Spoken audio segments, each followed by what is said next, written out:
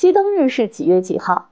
熄灯日也被称为地球一小时、关灯一小时，是世界自然基金会在二零零七年向全球发出的一项倡议，呼吁个人、社区、企业和政府在每年的三月最后一个星期六二十点三十分到二十一点三十分期间熄灯一小时，以此来激发人们对保护地球的责任感以及对气候变化等环境问题的思考，表明对全球共同抵御气候变。暖行动的支持，这是一项全球性的活动。世界自然基金会于二零零七年首次在悉尼倡导之后，一下子吸引了超过两百二十万悉尼家庭和企业参加。随后，这种活动一下子就吸引了全球人。